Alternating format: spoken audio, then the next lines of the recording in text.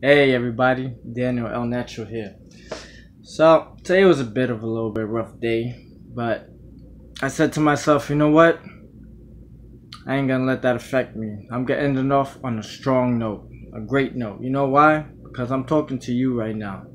You people right there, you give me the motivation to keep striving forward, to keep succeeding, to keep pushing me to the next level. You know why? Because it's not about me can't do everything by myself. We're here to each one teach one. I help you, he helps her, she helps him, we all help each other for a common greater good. You know? So I just want to wish everyone to have a, a blessed night. You know, have a great sleep. You know, wake up full energy, prepare for a thousand percent great day of work tomorrow. You know, what else?